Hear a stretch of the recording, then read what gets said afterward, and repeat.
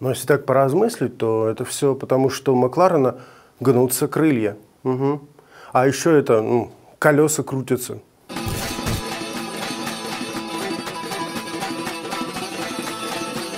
Всем салам, с вами самые слики, самый адекватный обзор Гран-при Азербайджана. Знаете, нетипичная гонка приключилась. Именно нетипичная для самой трассы в Баку. Обычно ведь у нас трэш и угар. Повсюду котики, карбоновые обломки, сломанные антикрылья и куча рукожопов, отчаянно ищущих заднюю передачу в очередном кармане. На сей раз единственный вменяемый инцидент приключился под самый финиш. Но это вовсе не значит, что гонка была скучной. Это была гонка преследования. Минимальные отрывы на всех этажах пилотона и погоня, погоня, погоня. Что ж, давайте сразу приступим к основному. Разложим все по полочкам, шьерт побери, и поищем плюсы и минусы прошедшего гран-при.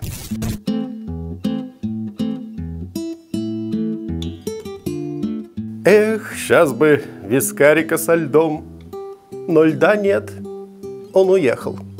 Да, вместе с вентилятором. Думаете, бред?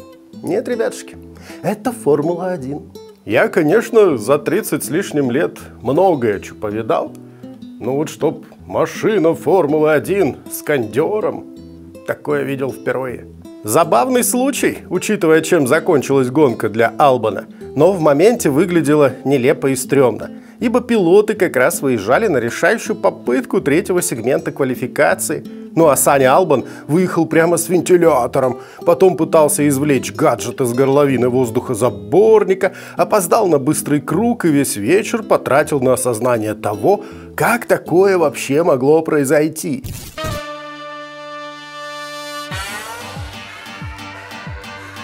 Еще один квалификационный фейл приключился в Баку – я вот честно не знаю, ребятушки, как Макларену каждый раз удается создать вот тот самый момент, из-за которого Норрис проиграл титул. Конечно, потом в гонке Ландышу удалось отыграться, но после квалы ситуация выглядела максимально печальной. В чем там был прикол, честно говоря, особо никто и не понял. Один из альпинистов хромал на трех колесах в боксы, один из маршалов включил ненадолго желтый светофор – другой за поворотом махал белым флагом, индикация желтых флагов была еще дальше, и она была очень короткой, так что метров через сто уже мелькал зеленый светофор. В общем, путаница, в самом омуте которой и оказался Ландо Норрис в первом сегменте. Он допустил серьезную ошибку в повороте, потом скинул газ, и решающая попытка была окончательно испорчена – так что это, если в конце сезона будете искать тот самый момент, из-за которого Норрис проиграл чемпионат, ну, не забудьте вспомнить и эту квалификацию тоже.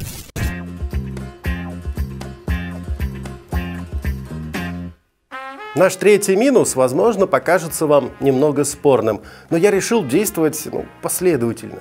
Помните, в Монце я сетовал на то, как Максим Йосович Ферстаппин улучил момент и как-то немножко гадски сдерживал Норриса.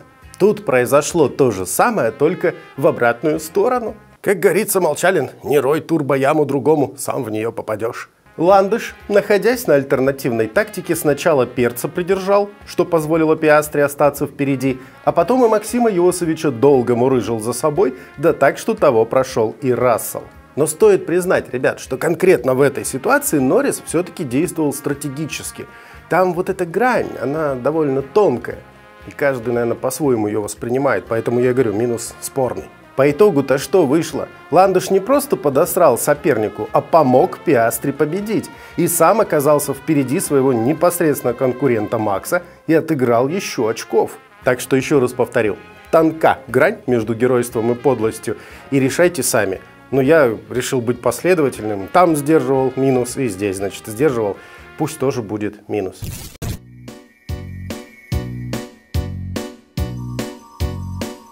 На втором месте, вы, наверное, еще сильнее будете негодовать, Леклер, да? Не ерепентесь и не бухтите, сейчас объясню. Я не собираюсь критиковать Шарля и в хвост, и в гриву, но есть один момент, который меня сильно смутил. Сдается мне, ребятушки, у нашего Леклерушки напрочь отсутствует фантазия. Да, я прекрасно понимаю, что обгонное место в этот раз было лишь одно – конце стартовой прямой. Я знаю, что на грязной части трассы ловить было нечего, и все вот эти доводы аналитиков учитываю. Но я зритель и наблюдаю за борьбой со своего дивана. И что же я там вижу? А вижу я, братцы, что гонщик, упустивший лидерство, пытается раз за разом вернуть его одним и тем же способом. Я бы даже не назвал это попытками атаки. Так, прощупывание, типа «пойду на внутреннюю», закрывает. «Хорошо, пойду по внешней». «Ладушки, еще раз пойду по внешней». И так 45 раз. Похоже, на сей раз не только Харт, но и гонщик за рулем оказался несколько бесполезным. Еще раз повторю, насколько сложно было обогнать Оскара на Макларене, я прекрасно понимаю. Но всю дорогу я ждал от Леклера какого-нибудь хитрого, неожиданного маневра, но так и не дождался.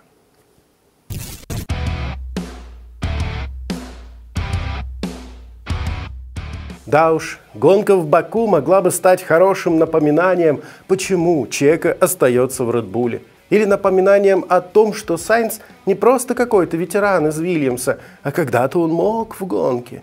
Жалко перца, в кои-то веки на подиум ехал. Жалко Сайнса, мог бы стать героем гонки. Но жалко, как мы знаем, у пчелки, которую охраняет Себастьян Феттель. Поэтому погнали. Конечно, авария была глупой. Конечно, никто ее не хотел. Вполне естественно, что болельщики с разных сторон приступили к поискам виноватого. Соглашусь, на первый взгляд вроде как Сайнс накосячил. Но знаете, можно сколько угодно разглядывать, кто куда там руль вертел, кто куда смотрел. По мне так это действительно гоночный инцидент. Сейчас на пальцах покажу. Моя версия в том, что идеальная траектория была всего лишь одна. Грязная часть трассы, невозможность обгона и все прочее, заметьте.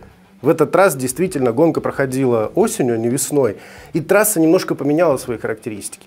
Никто не пытался обогнать, там, перекрестить во втором повороте, там, ну, Леклер пытался, да, да не выпытался. В, в третьем повороте никто особо не обгонял, там только в самом конце пилотона, и то очень изредка. То есть фактически обгонное место было только одно, в конце старт-финишной прямой. Поэтому очень важно было после второго поворота занять именно вот эту чистую часть траектории. А для этого надо было просто на нее выехать. Но так как и Сайнс, и Перес после заварушки первого поворота оказались фактически на грязных частях трассы, один с внешней, другой с внутренней, то оба вполне логично сразу же нацелились на эту чистую часть трассы. Она две машины в себе не вместит. Ну и как бы нашла коса на камень. Никто не хотел уступать, и все закончилось вполне логично. Оба пострадали. Там вообще неприятная ситуация, честно говоря, произошла. Авария-то, в принципе, была не такой уж и страшной. Это был всего лишь разгон. Это было не в конце прямой.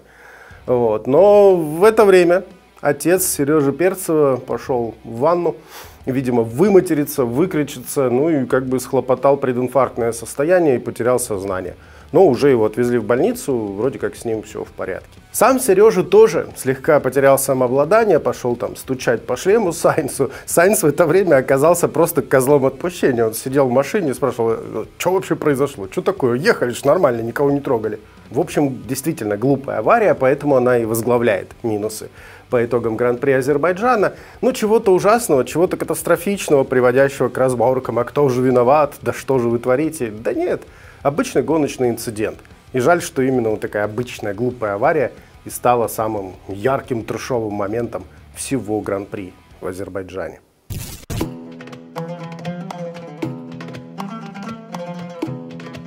Что ж, от тех, кто не смог, перейдем к тем, у кого все получилось. Причем местами получилось не просто хорошо, а, блин, удивительно хорошо. Я надеюсь, у меня тоже хорошо получается рассказывать о Гран-при Азербайджана, и вы это оцените. Ведь наш канал существует только благодаря вашей поддержке. Оказать которую можно по ссылкам в описании или при помощи вот этого вот QR-кода. Заранее премного благодарен, ребятушки. Ну и погнали в плюсы.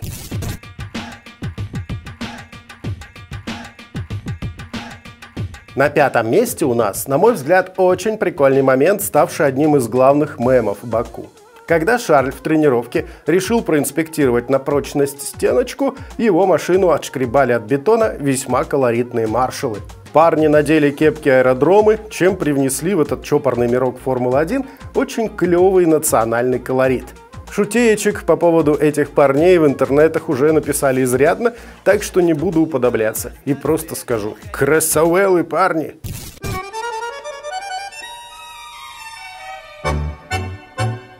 То, что натворила в Баку молодежь, вполне укладывается в мои представления о том, что современные пилоты, взращиваемые с мальца, уже к двушке являются вполне профессиональными спортсменами и готовы ехать сходу на любой трассе и в любой команде Формулы-1. И вот в Баку вдруг выяснилось, что наш новобранец Пепси Литр, он вам даже не сержант, он прям майор какой-то сразу, командир роты приятных сюрпризов. Но давайте оставаться в адеквате. Многие удивлены, в том числе и я поначалу, что не самый выдающийся гонщик младших формул едет вполне себе неплохо. Но мы с вами уже взрослые, поэтому давайте по-взрослому и на прямоту. Все эти воспитанники молодежных программ способны ехать годно. Позволяет Вильямс держаться на грани десятки. Пепсилитр держится.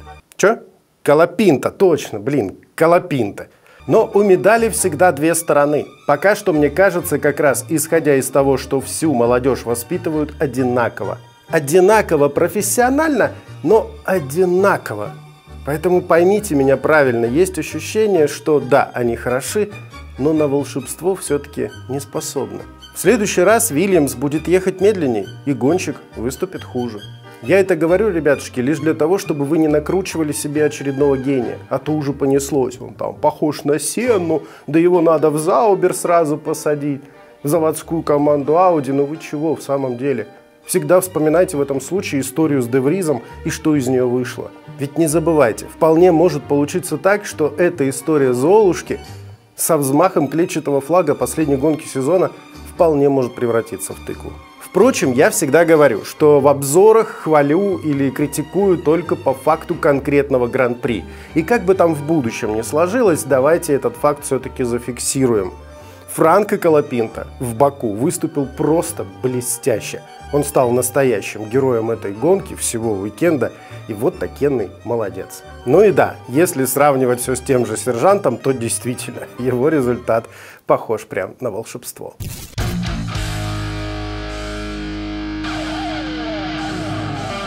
Ну и тут же у нас Берман. Он вроде как на третьем месте по плюсам, но они с Колопинто прям оба молодцы, сами понимаете.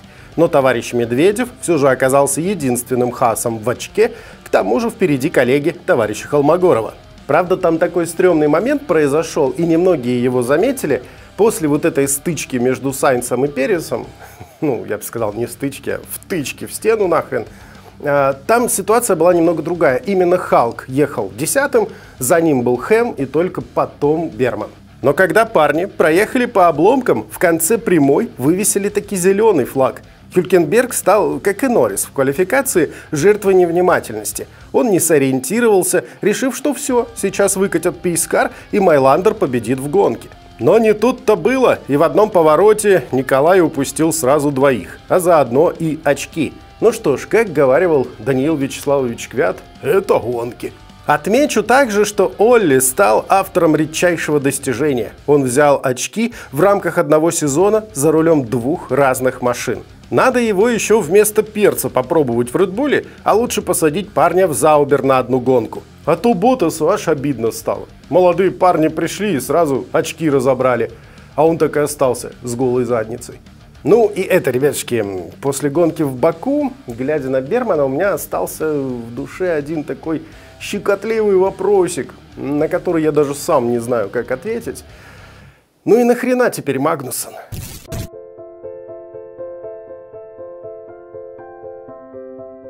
На втором месте по плюсам, а если уж совсем мыслить адекватно, наверное, они заслуживают и первого, находится команда Вильямс. Колопинта мы уже похвалили, но давайте учитывать, что весь этот молодняк оставил позади Саня Албан, показавший лучший результат в сезоне. Седьмым он был в прошлогодней Монце, а двумя машинами в очках Вилки были год назад в США. Так что весьма уникальное достижение и... Блин, у меня снова вопрос. А нафига теперь Вильямсом Сайнс? А еще мне интересно, это была разовая акция, потому что трасса подошла машине, или Вильямс действительно решили под конец спрогрессировать и поучаствовать таки в борьбе. А то как-то получается, что сезон у них совсем слабый вышел. Но по факту Баку, да, Вилки однозначно герои, и благодаря заработанным очкам они опередили альпинистов в Кубке конструкторов. Что уже весьма и весьма круто.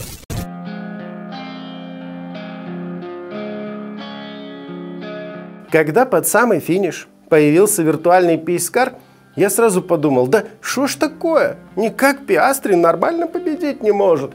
А потом понял, нормально, нормально победил пацан. Если мы тут нахваливаем Колопинта и Бермана, давайте уж признаем, что самым крутым гонщиком в Баку был все-таки Оскар Пиастри. Не стал лезть в бутылку на старте, совершил очень неожиданную и смелую атаку на Леклера и большую часть гонки возил его за собой, не давая совершить такую же неожиданную контратаку. Три гонки сражались эти парни, и вот, наконец, Пиастри взял верх над Леклером – и тут я бы хотел отметить, что начинал этот сезон Оскар ни шатка, ни валка. Были проблемы с падением темпа по ходу дистанции, да и много чего. Но, видимо, все эти недочеты в гоночном образовании удалось таки ликвидировать, и на сегодняшний день Пиастри действительно является очень стабильным и, безусловно, быстрым гонщиком. Так что теперь вот после этой нормальной победы факт. В полку топов Формулы-1 прибыло и, похоже, надолго.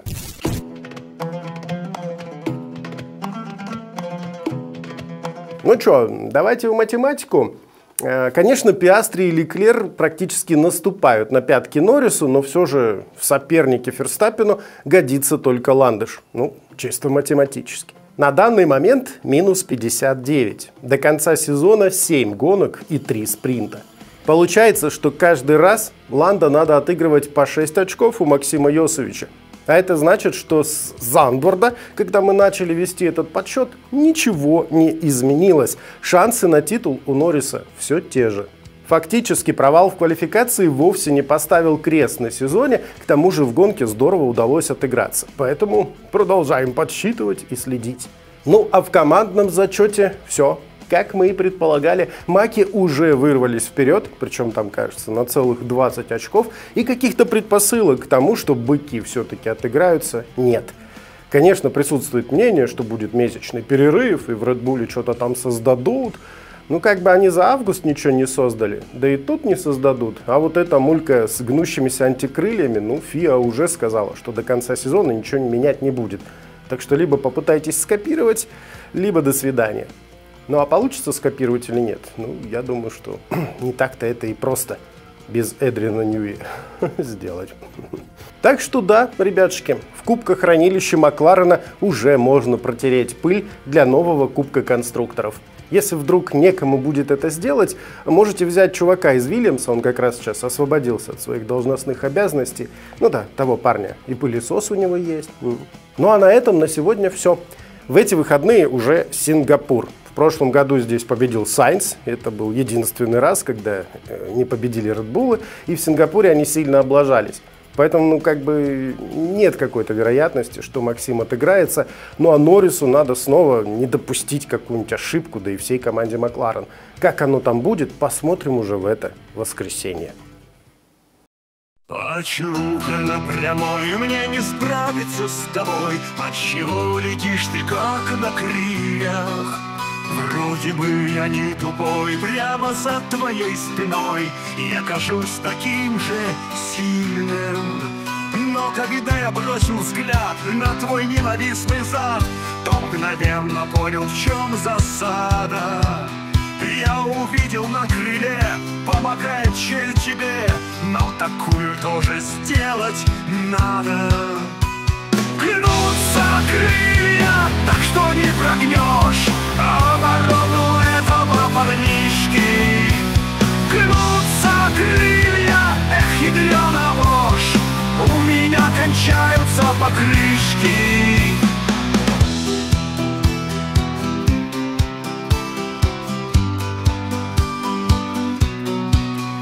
Я потом летел домой в самолете чуть-чуть свой иллюминатор наблюдая Как воздушной струей, словно сильной рукой Крылья самолета изгибает.